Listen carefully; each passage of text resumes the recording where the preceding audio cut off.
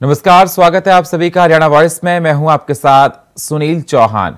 प्रधानमंत्री मोदी ने किसानों को दिवाली का तोहफा दिया है, जिसमें पीएम ने छह फ़सलों का एमएसपी बढ़ाया है। जिसको लेकर हरियाणा के मुख्यमंत्री मनोहर लाल ने खुशी ज़ाहिर की है। अपने सोशल मीडिया पर उन्होंने कहा कि प्रधानमंत्री मोदी जी के नेतृत्व में केंद्र सरकार किसानों की आमदनी बढ़ाने और आर्थिक स्थिति को बेहतर करने के लिए निरंतर कार्य कर रही है। मोदी सरकार ने दिवाली से पहले किसान भाइयों को पार देते हुए विपणन सीज़न 2024-25 हेतु रबी की छह फ़सलों पर न्यूनतम समर्थन मूल्य बढ़ाने की मंजूरी दी है। जिसके साथ ही उन्होंने पूरे हरियाणा वासियों की ओर से प्रधानमंत्री मोदी और केंद्रीय कैबिनेट का आभार जताया है।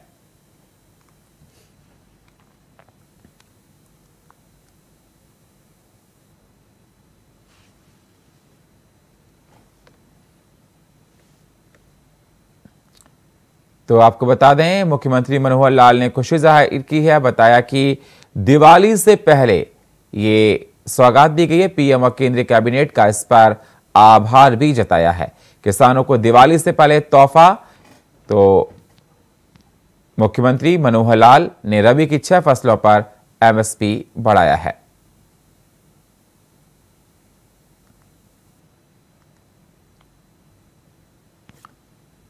हरियाणा के करनाल के कुंजपुरा के सैनिक स्कूल में चल रहे अखिल भारतीय सैनिक स्कूल राष्ट्रीय खेल 2023 का मंगलवार को समापन हो गया। समापन समारोह में हरियाणा के मुख्यमंत्री मनोहर लाल ने शिरकत की। इस दौरान कार्यक्रम को संबोधित करते हुए सीएम मनोहर लाल ने कहा कि हरियाणा में ज़्यादा से ज़्यादा सैनिक तैयार हों और सेना में युवाओं की भागीदारी बढ़े। इसके लिए हरियाणा के सभी जिलों में पीपीपी यानी पब्लिक प्राइवेट पार्टनरशिप मोड के तहत सैनिक स्कूल खोले जाएँगे। इससे हरियाणा के युवाओं की सेना में भागीदारी बढ़ेगी और बड़ी संख्या में अग्निवीर तैयार होंगे। उन्होंने स्कूल के बुनियादी ढांचे को विकसित करने के लिए 10 करोड़ रुपए के अनुदान की भी घोषणा की है। इस आयोजन के दौरान आयोजित तमाम प्रतियोगिताओं में देश भर के तमाम सैनिक और स्कूलों के 650 से अधिक खिलाड़ियों ने भाग लिया। साल 2008 में राज्य ने अपना दूसरा सैनिक स्कूल रेवाड़ी ज़िले में खोला और दूसरा, जज्जर के मातन हेल में स्थापित होने की प्रक्रिया में है। साल 2021 में इसके लिए इकसठ एकड़ भूमि आवंटित की गई। उन्होंने कहा कि सरकार ने हरियाणा को खेल महाशक्ति के रूप में स्थापित करने के लिए सक्रिय रूप से खेल संस्कृति को बढ़ावा दिया है।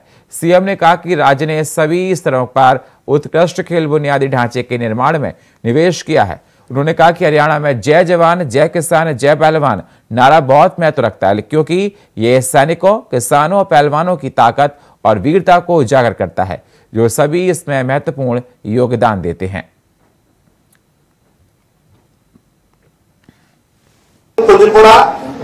और यह प्रतियोगिता का समापन, जिसमें देश भर से सैनिक स्कूलों के छात्र छात्राएँ यहाँ उपस्थित, ऐसे अवसर पर वास्तव में ही मुझे बहुत ही गर्व और खुशी का अनुभव हो रहा है। मेरे लिए सौभाग्य की बात है कि जो पहला इस प्रकार का खेल प्रतियोगिता का अवसर है, ये हमारे यहाँ सैनिक स्कूल कुंजपुरा में संपन्न हो रहा है। अखिल भारतीय सैनिक स्कूल राष्ट्रीय खेलों का यह समापन अवसर, ये बहुत ही सौभाग्य की बात है। अब तक तो सैनिक स्कूलों के क्षेत्रीय और अंतर क्षेत्रीय खेल प्रतियोगिताएँ ये होती थी। लेकिन पहली बार अखिल भारतीय स्तर पर ये खेल प्रतियोगिताओं का आयोजन किया गया है। मुझे गर्व है, इसके लिए हरियाणा का सैनिक स्कूल पुंजपुरा ये चुना गया है। सैनिक स्कूलों के कैडेट्स के लिए राष्ट्रीय स्तर की इस प्रतियोगिता के आयोजन में इन खिलाड़ियों में से कई खिलाड़ियों को राष्ट्रीय व अंतर्राष्ट्रीय स्तर की खेल प्रतियोगिताओं के लिए चयन का अवसर भी निश्चित रूप से मिलेगा। मेरे सामने देश के भावी सीमा प्रहरी ये खिलाड़ी बैठे हैं। आपके दमकते चेहरे देखकर मेरा मन बहुत प्रफुल्लित हो रहा है। मैं आप सभी खिलाड़ियों की खेल भावनाओं की सराहना करता हूँ। आपने राष्ट्रीय स्तर की खेल प्रतियोगिता में भाग लेकर अपनी दक्षता मानसिक दृढ़ता, इस सबका तो परिचायक है ही है, इसका परिचय दिया है। आप सैनिक स्कूलों के विद्यार्थी हैं। सैनिक स्कूल हो या कोई भी स्कूल हो, वहाँ पर शिक्षा, संस्कार, संस्कृति और कौशल, इसका तो एक प्रकार से लाभ सभी विद्यार्थियों को होता ही है।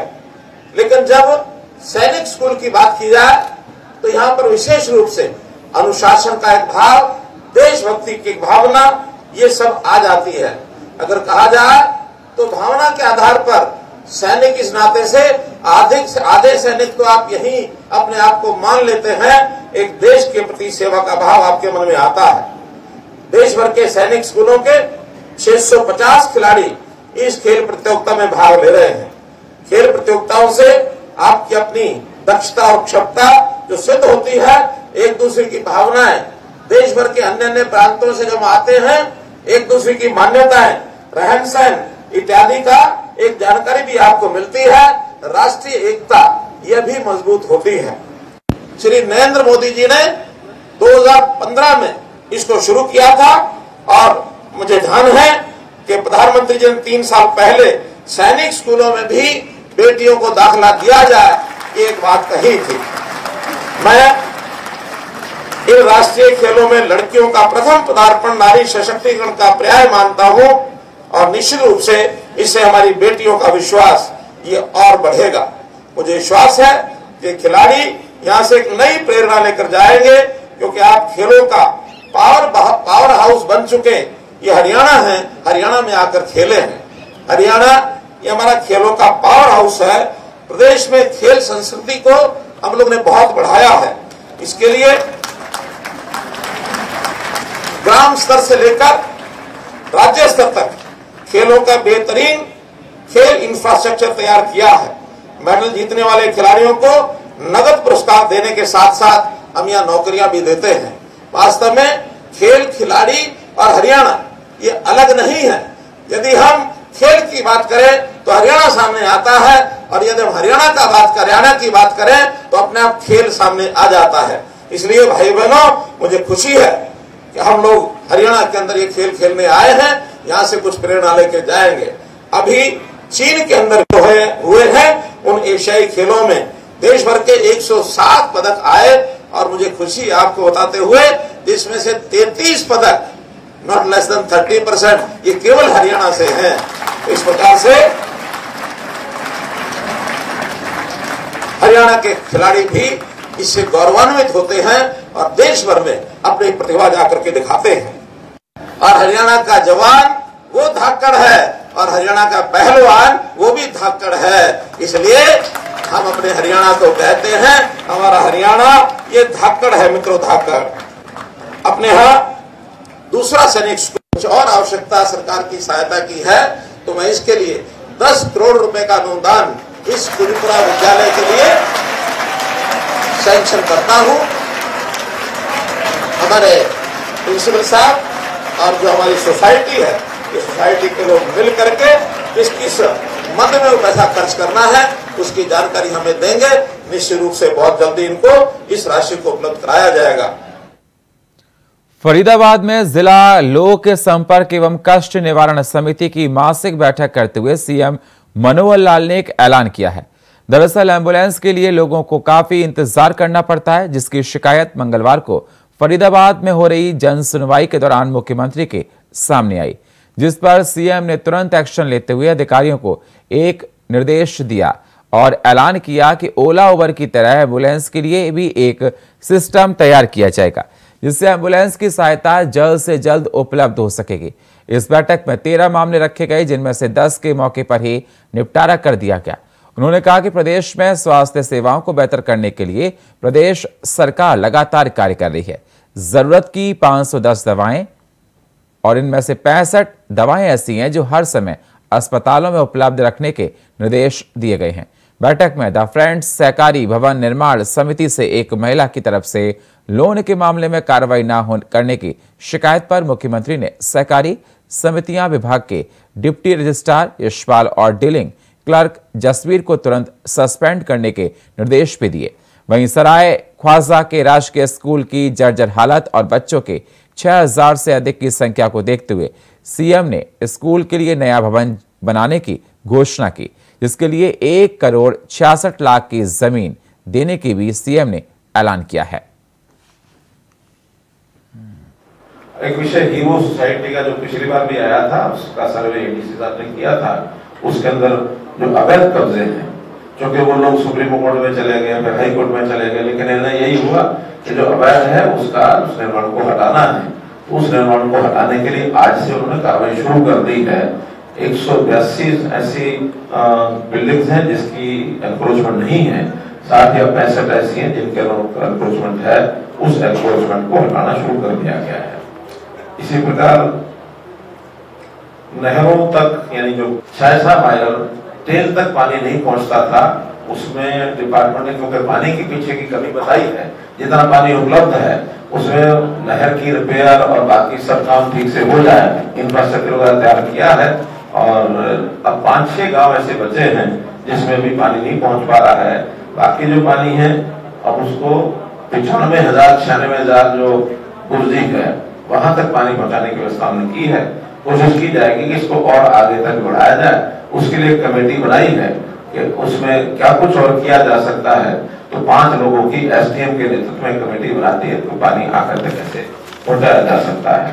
कोऑपरेटिव सोसाइटी का विषय था, वहाँ एक लापरवाही हमको देखने को मिली कोऑपरेटिव डिपार्टमेंट की तो उसमें एक क्लर्क है यशवीर और एक डीआरसीएस है। उन दोनों का भी फॉर द टाइम सस्पेंड किया है, क्योंकि उनका जो काम करने का तरीका है। वो बहुत ही ढीला नज़र में आया। उन्होंने एफ़ आई आर हालाँकि दो सितंबर को मैंने कहा था एफ़ आई आर कराओ। अब वो तीन दिन पहले, यानी तेरह तारीख को उसकी एफ़ आई आर हुई अब दसवें महीने में, एक सवा महीने के बाद। और बहाने इधर से उधर लगा रहे थे। अल्टीमेटली उन्होंने कहा, इसका पूरा प्रोसेस भी बताया कि कहा ये चीज़ें गड़बड़ हुई हैं। मैसेज आगे क्यों नहीं पास होते तब तक इन दो लोगों को सस्पेंड किया है। उसकी सारी जानकारी वो देंगे, बाद में उसका निर्णय करेंगे। एक टावर लगाने की मकान के ऊपर मकान मालिक ने कमज़ोर मकान है, उसके ऊपर दो टावर तो पहले लगवा लिए, एक परमिशन से था, एक बिना परमिशन के, और तीसरा टावर भी बिना परमिशन के वो लगवा रहे थे। अल्टीमेटली उसको उसके खिलाफ, मकान मालिक के खिलाफ भी, और कंपनी जो है, बिना परमिशन के लगा रहे हैं, उनके खिलाफ भी कार्रवाई की जाएगी। उसका जो टावर एक बिल्कुल अभी लगा नहीं है, लगाने की प्रोसेस में है, उसको भी पीडब्ल्यू से मकान की जो डिलीवरेबिलिटी है उसका एक्सेप्ट रहेंगे। और अगर मकान बहुत कमज़ोर हो तो तुरंत अपने आप डिजास्टर के अंतर्गत एक पावर होती है, उसका हटा देंगे टावर साइड में रखेंगे केस प्रॉपर्टी बनाएँगे, और बाकी भी कार्रवाई के बाद जो फैसला करेंगे, उस हिसाब से वो टावर एक टावर परमिशन का है, मकान बिल्डिंग ठीक है तो एक रहेगा, बाकी नहीं रहेंगे। जहाँ कॉलोनी में पीने के पानी की समस्या थी, उसमें सात सौ मीटर में से डिपार्टमेंट कहा पूरा कर दिया, लेकिन कंप्लेनेंट ने कहा कि उसमें सौ, सवा सौ मीटर अभी नहीं हुआ है। उसका जो ऐसी की ड्यूटी है, वो उसको देखेंगे। का एक राष्ट्रीय राजमार्ग राजमार्ग वाईएमसी के सामने पोल को शिफ्ट करने का विषय है, वो कल उसकी परमिशन दे देंगे। कई समय से दो डिपार्टमेंट की उलझन में एनएचआई और हमारा पावर डिपार्टमेंट उलझा हुआ था तो उसका निर्णय किया कि वो कल परमिशन दे देंगे। ताकि कंट्रैक्ट उस पोल को हटा दें। बाकी डिपार्टमेंट अपना लेने देने का मामला बाद में सॉल्व करते रहेंगे।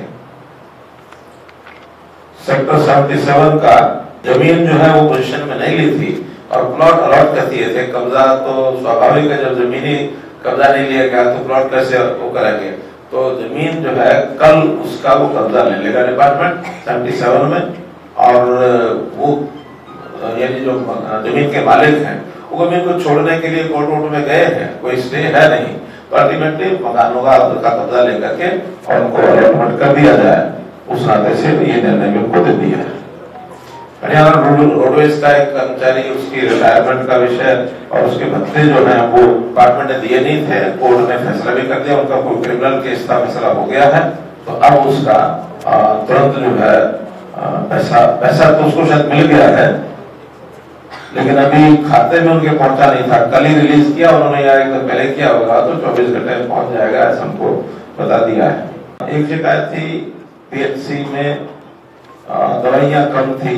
जनरल टाइप की नेचर की समस्या थी, लेकिन सीएमओ साहब ने बताया कि काफ़ी दवाइयाँ पहुँची हैं, कुछ दवाइयाँ नहीं है तो उसके आधार समय पहुँच जाएँगी। बल्लभगढ़ में भी एक अवैध प्लॉटिंग का मामला ये सामने आया। उस अवैध कॉलोनी को तोड़ने की और जो कॉलोनाइजर के खिलाफ कार्रवाई करने की बात कही है, क्योंकि उन्होंने किसी को आगे प्लॉट भी बेच दिया। यानी अपने प्लॉट काट दिए, दूसरे को प्लॉट बेच दिए, उनका पैसा ही वापस किया नहीं है तो उसके खिलाफ कार्रवाई की जाए। ऐसे ही सरायक ख्वाजा, आर्य नगर कहना चाहिए रदत कंप्लेन में तो सरायक ख्वाजा ही है, लेकिन मुझे ध्यान में है कि जब मैं सरायक ख्वाजा जाता था तो मैंने कहा था कि इसका नाम जरा ठीक ठाक रखो, आर्य नगर रखा गया था। और मैं घुमा हुआ है वहाँ का जो स्कूल पुराना स्कूल है चलता आ रहा है दो तीन मंजिल है, लेकिन जितनी बड़ी संख्या विद्यार्थियों की भविष्य के हैरान हो गया कि छह हज़ार के आसपास बच्चे उसमें पढ़ते हैं और अध्यापक भी सौ से ऊपर है। फिर भी वो बिल्डिंग कमज़ोर भी हो गई है तो उसके लिए एक नई बिल्डिंग लड़कियों के स्कूल की या लड़कियों का यहाँ रखेंगे वहाँ लड़कों का, जैसा भी करना होगा, एक की बजाय दो स्कूल उसके होंगे और एच का एक पॉइंट छह छह एकड़, यानी पौने दो एकड़ ज़मीन वो एच एस की और एजुकेशन डिपार्टमेंट के देने के लिए मैंने कह दिया है, ताकि नए स्कूल की बिल्डिंग बन जाए, उस स्कूल की समस्या का हल ये कर दिया जाए। आज की कमेटी में कुल मिलाकर के तेरह विषय रखे गए थे, जिसमें चार विषय तो पहले के जो चलते हुए आ रहे थे, उनके ऊपर चर्चा हुई और नौ नए थे। और इनमें से तीन विषय अगली कमेटी के लिए फिर से रखे गए हैं, क्योंकि कुछ टाइम लग जाता है, कई बार सेटिस्फेक्शन कंप्लेन की भी नहीं होती है कभी तो हमें भी लगता है कि इस पर टाइम लगेगा। तो तीन विषय आगे के लिए रखे गए थे और दस विषयों का निर्णय ये सब किया गया है। उसमें पहला एक विषय था कि जो नई सीवरेज लाइन जो तीन माह के लिए पिछली बार ने कहा था इसको पूरा करें और उसके अंदर सारी योजना आगे की बन गई है। कब उसका यानी मैन पावर जो है, वो खड़े होंगे, कब उसकी सीवरेज लाइन बनेगी? और वो सारे तीन महीने के टाइम पर हमारे एफएमडीए के जो देख रहे हैं, यहाँ काम डीसी जी, उनकी देखरेख में नेशनल हाईवे ने भी, और पावर डिपार्टमेंट ने भी, और यहाँ का जो कॉर्पोरेशन भी, उन्होंने सबने मिलकर योजना उसकी बनाई है। और एच एफ़ सी वहाँ के जो पानी, खुला पानी है, उसको टेम्पररी उसका पैसे दो दिन के अंदर उसकी सारी व्यवस्था कर देंगे ताकि आगरा कैनाल में उस पानी को जब तक परमानेंट व्यवस्था नहीं होती तीन महीने तक, तब तक उसको तोड़ डालेंगे। और फ़िलहाल हरियाणा वॉइस में इतना ही। बाकी खबरों के लिए आप बने रहिए इंडिया वॉइस के साथ। तब तक के लिए नमस्कार।